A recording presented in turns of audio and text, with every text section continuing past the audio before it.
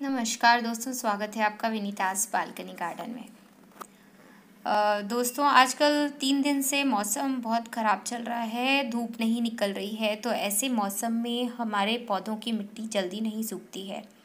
तो उसके लिए हम हमें आ, हम बात करेंगे आ, कि उसके लिए हमें क्या करना चाहिए। तो बने रहिए मेरे साथ देखते रहिए। ये गुलदावती, देखिए अभी इसके बर्ड्स खिले हुए नहीं हैं, पूरे नहीं खिले, अभी धीरे धीरे खिलेंगे।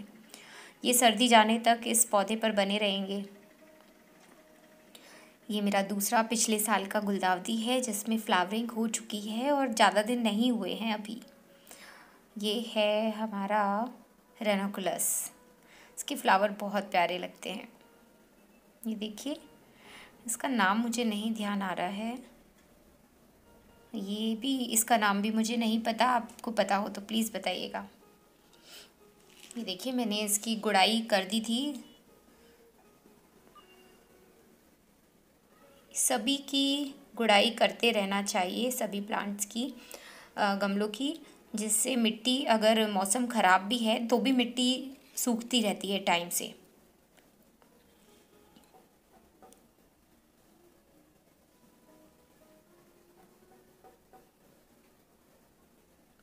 एयर सर्कुलेशन बना रहता है, जड़ों को भी हवा मिलती रहती है अगर हम गुड़ाई टाइम से करते रहते हैं। अभी सर्दी के प्लांट्स में तो हमें पंद्रह पंद्रह दिन में या हफ़्ते में एक बार गुड़ाई करनी चाहिए, जिससे मिट्टी सूखती रहती है। देखिए कितने धुंध आज दोपहर दो बजे तक धुंध थी, और उसके बाद जाके सूरज थोड़ी देर के लिए धूप निकली थी। हमेशा चौड़े गमलों में प्लांट्स लगाने चाहिए, जिससे गुड़ाई के लिए हमारे लिए जगह बची हो। मैंने इस गमले में तीन प्लांट्स लगाए हुए हैं। बहुत अच्छी तरीके से ग्रो कर रहे हैं प्लांट्स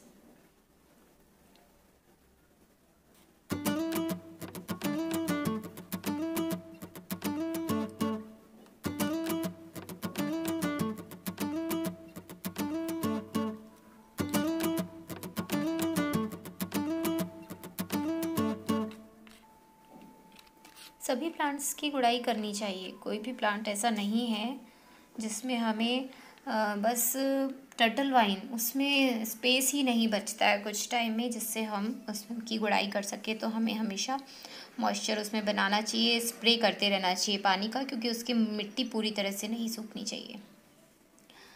ये देखिए। मिट्टी अभी अच्छे से नहीं सूखी है, मेरी थोड़ी सी भुरभुरी सी हो रही है। तो आज मैं सारे प्लांट्स सारे गमलों में गुड़ाई करूँगी मिट्टी की और फिर कल इस सभी में पानी दूँगी।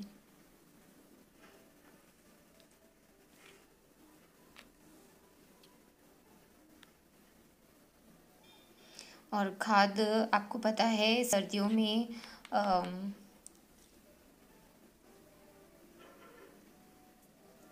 सरसों की खली का लिक्विड देना चाहिए। तो मैं तो सरसों की खली, वर्मी कंपोस्ट और अपने घर की खाद जो मैं बनाती हूँ, सब्जियों के, छिलकों फ्रूट्स के छिलकों से, वो और एक मुट्ठी उसमें डाल देती हूँ, नीम की खली। ये सारी चीज़ें भिगो कर रखती हूँ तीन चार दिन के लिए और फिर उसमें जब देना होता है तो सीवीड की आधा ढक्कन या एक ढक्कन उसमें डालकर फिर उस पानी को उसमें से जैसे आधा गिलास लेकर और एक बाल्टी में आप मिक्स कर दीजिए और फिर सारे पौधों में आप दे दीजिए अच्छे से। जितना आपको पानी देना है, वो सारा आप दे सकते हैं। अच्छे से जब तक नीचे से ना निकले। हमेशा जब भी पानी देते हैं हम पौधों को तो बहुत अच्छे से देना चाहिए, जिससे फिर बाद में मिट्टी जब भी सूखती है, फिर दोबारा तभी देना चाहिए। इससे पौधे बहुत अच्छे से ग्रो करते हैं। मैं क्योंकि कम देकर भी मैंने देखा है कि पौधों को थोड़ा थोड़ा पानी देती हूँ। तो कभी पहले मैंने सारे एक्सपेरिमेंट कर रखे हैं थोड़ा थोड़ा पानी देती हूँ तो वो मिट्टी ऊपर ऊपर से सूखती रहती है थोड़ा थोड़ा अपन डालते रहते हैं पानी तो उससे क्या होता है, नीचे की जड़ों को पानी नहीं मिल पाता है, क्योंकि वो कुछ टाइम में तो नीचे तक मिट्टी पूरी सूख ही जाती है, अगर हमने अच्छे से पानी नहीं दिया पंद्रह बीस दिन में तो नीचे की मिट्टी सूख जाती है और ऊपर नमी बनी रहती है तो हमें ध्यान रखना है कि जब भी पानी देना है तो बहुत अच्छे से पानी देना है गमले में। कुछ पौधे ऐसे होते हैं जिनमें हमें थोड़ा बहुत पानी देना पड़ता है, जैसे बालसम। बालसम को हम एक दिन भी पानी नहीं देते हैं तो अगर उसकी ऊपर की मिट्टी सूख जाती है तो पत्तियाँ मुरझा जाती है और वो पत्तियाँ कभी भी सही नहीं हो पाती है क्योंकि वो सूख कर झड़ जाती है, फिर धीरे धीरे पूरा प्लांट स्ट्रेस में चला जाता है और ख़त्म हो जाता है। मेरे पास दो प्लांट थे बालसम के और फिर एक मेरा ख़राब हो गया इसी कारण से और दूसरा अभी चल रहा है। तो उसमें हमेशा थोड़ा थोड़ा पानी डालते रहिए और जब आपको लगे कि बहुत अच्छे से मिट्टी इसकी सूख रही है तो आप बहुत अच्छे से उसमें वाटरिंग कर दीजिए। पंद्रह दिन में एक बार तो बहुत अच्छे से कर दीजिए और रोज़ आप थोड़ा थोड़ा आधा गिलास पानी उसमें डाल दीजिए। अगर वो बहुत मतलब धूप में तो उसे रखना नहीं है। ये देखिए मैंने स्पाइडर प्लांट ये छूट टूट गया था मेरा बेबी प्लांट उसमें से। तो मैंने इसमें रख दिया था तो इसमें जड़ें आ गई हैं। सिर्फ़ रखा था मैंने। हल्का सा मिट्टी से नीचे नीचे का हिस्सा ढक दिया था। तो देखिए, अच्छी जड़ें आ गई। मैं भी इसको एक बार दूसरे गमले में लगाती हूँ और फिर इसे जब थोड़ा सा बड़ा हो जाएगा ये, तब मैं इसे अलग से लगा दूँगी। ये देखिए, अब मिट्टी के अंदर लगाऊँगी। थोड़ी सी जड़ें अंदर चली जाएँ, जिससे इसकी अच्छी ग्रोथ होगी। यहाँ पे धूप आती रहती है और ये नीचे की तरफ़ है तो इसको ज़्यादा तेज़ धूप नहीं लगेगी।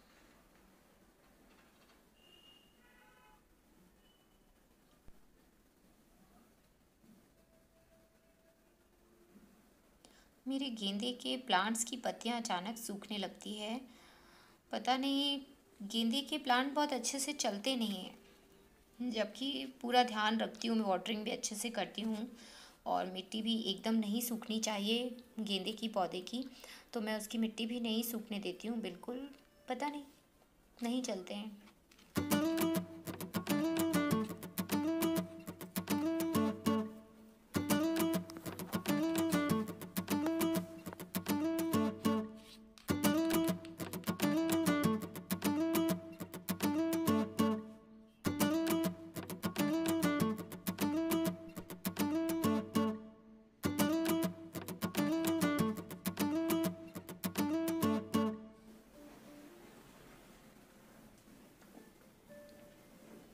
देखिए, सूरज देवता दिखने लगे हैं। थोड़े थोड़े से दर्शन दे दिए आज सूरज ने। ये देखिए, मेरा रोज़ प्लांट है ये। इसकी मिट्टी देखिए, सूख रही है। अगर नीचे उंगली डालने पर नहीं चिपकती है, इसका मतलब अब इसे प्लांट को पानी की ज़रूरत है। तो हमें पानी दे देना चाहिए। अभी मैं गुड़ाई कर रही हूँ। ये देखिए, हिबिस्कस। इसकी मिट्टी भी सूख चुकी है। सभी मैं अच्छे से वाटरिंग करूँगी।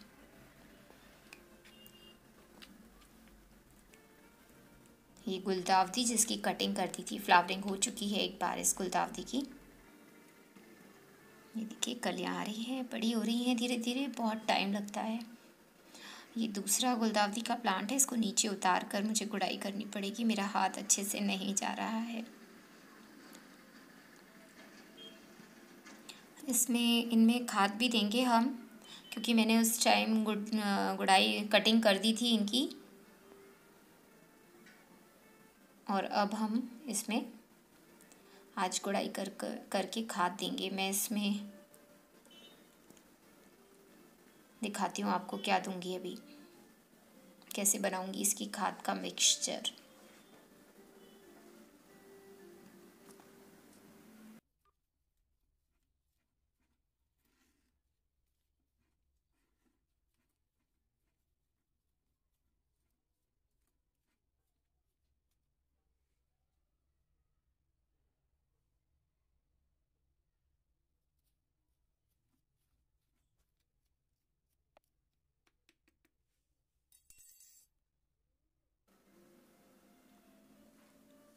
देखिए, ये है वर्मी कंपोस्ट।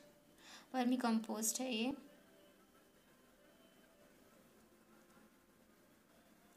दो मुट्ठी ले ली मैंने। ये मैं तीनों गमलों में डालूँगी। और भी गमलों में डालूँगी कि और खाद मिक्स करके इसमें। ये ये है डीएपी कुछ दाने डीएपी के। नीम की खली। ये तीनों को हम अच्छे से मिक्स कर लेंगे।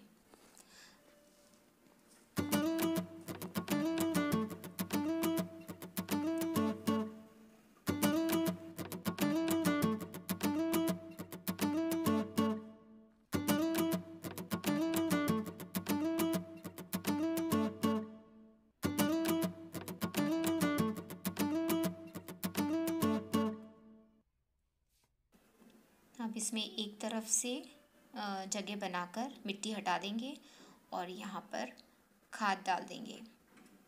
हमें गमले के हिसाब से खाद डालनी है। दो तीन चम्मच हम इसमें डालेंगे इधर और फिर थोड़ा उस तरफ़ डालेंगे क्योंकि डीएपी भी हमने डाली। पहली बार मैं डीएपी यूज़ कर रही हूँ। मैंने इसके पहले कभी भी केमिकल खासकर डीएपी का यूज़ नहीं किया है। ये दूसरी तरफ़ भी हम इसमें दो, एक दो चम्मच डाल देंगे।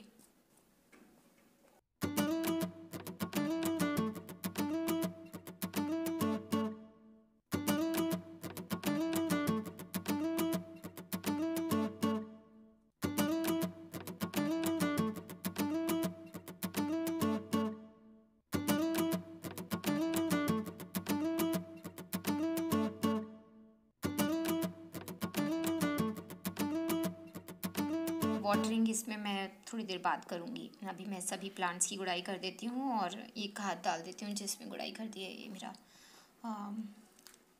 रोज़ प्लांट है। ये देखिए, इसमें फंगस लग चुकी है। इसमें स्प्रे करूँगी मैं। अभी धूप नहीं निकल रही है, इसलिए मैंने दो तीन दिन से स्प्रे नहीं किया है।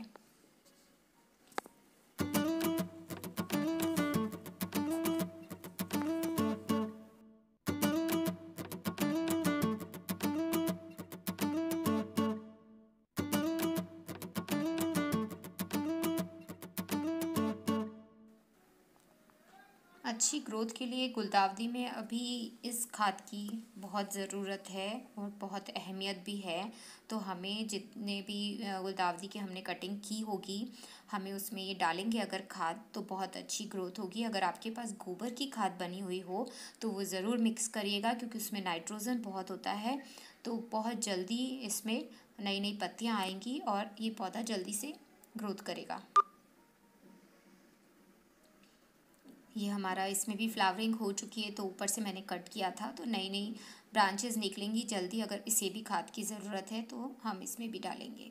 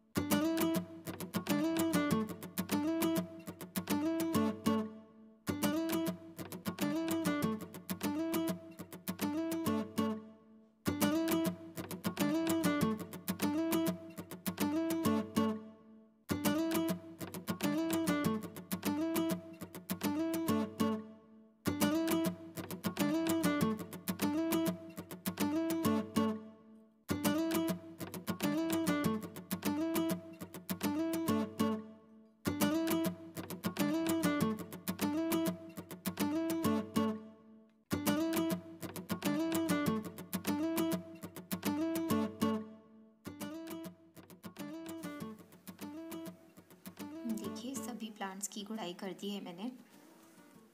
ये देखिए, कितनी अच्छी फ्लावरिंग हो रही है। मैंने कुछ प्लांट्स में तो पानी डाल दिया है, जिनकी मिट्टी ज़्यादा सूखी हुई थी और जिनकी थोड़ी कम सूखी हुई थी। नमी थी थोड़ी बहुत तो उनमें मैं कल वाटरिंग करूँगी।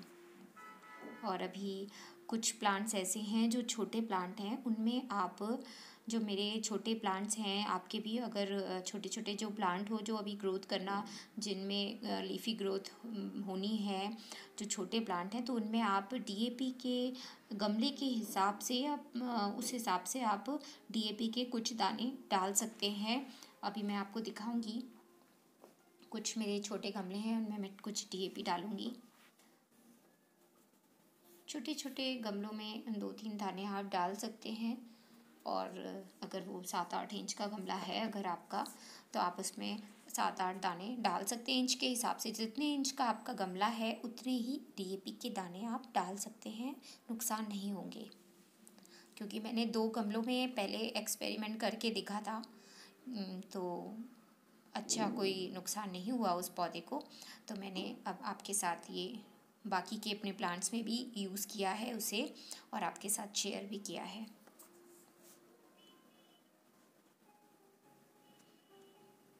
देखिए, आपके साथ मैंने ये शेयर किया था। प्लांट जब मैं लेकर आई थी, कितने छोटे छोटे प्लांट्स थे, अब देखिए कितने सारे फ्लावर खिल रहे हैं।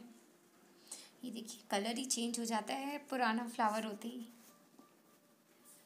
इसमें भी बहुत अच्छी ग्रोथ हो रही है। फ्लावरिंग एक साथ होगी इसमें भी।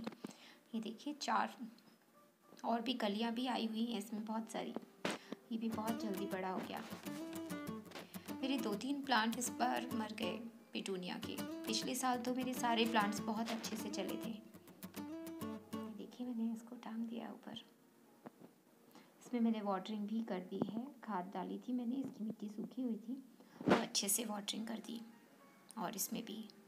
इसकी मिट्टी बिल्कुल सूखी हुई थी, दोनों मैंने चेक किया था। ये देखिए, ये मेरे छोटे छोटे से कलंचू के प्लांट हैं।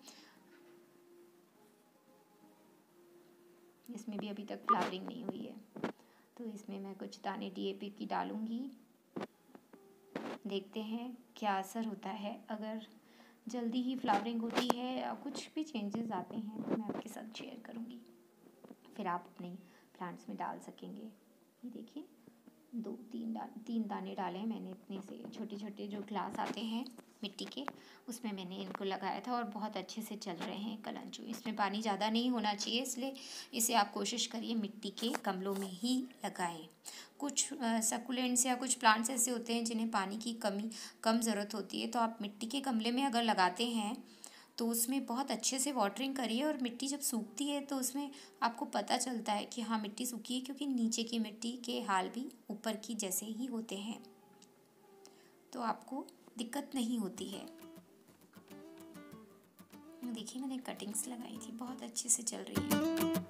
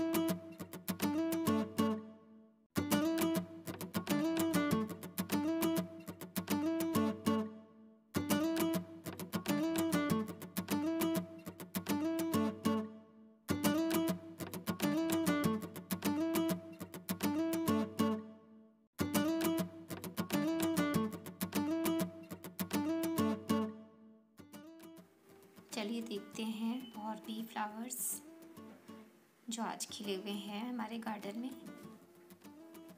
आप मुझे बताइएगा, मैंने ये अलग तरीके से जमाए थे। अभी और थोड़े बहुत चेंजेस करने हैं यहाँ इस जगह पर। ये एक वाइट वाला गमला थोड़ा आगे रख दिया, मैंने कुछ ध्यान नहीं था। अब मैं इसे वापस इधर रखूँगी, तब और अच्छा लगेगा। ये हैंगिंग बास्केट्स ये देखिए, सूरज। धूप निकली है थोड़ी, पर ये कुछ समय के लिए ही निकलती है। आधे एक घंटे से ज़्यादा धूप नहीं रहती अभी।